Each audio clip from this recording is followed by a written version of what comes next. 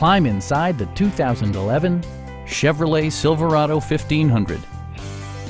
Under the hood, you'll find an eight-cylinder engine with more than 300 horsepower, providing a smooth and predictable driving experience.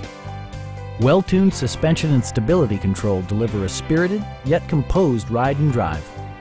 Top features include front dual-zone air conditioning, front and rear reading lights, a tachometer, a rear step bumper, heated door mirrors, a trailer hitch, and power windows. With side curtain airbags supplementing the rest of the safety network, you can be assured that you and your passengers will experience top-tier protection. We'd also be happy to help you arrange financing for your vehicle. Come on in and take a test drive.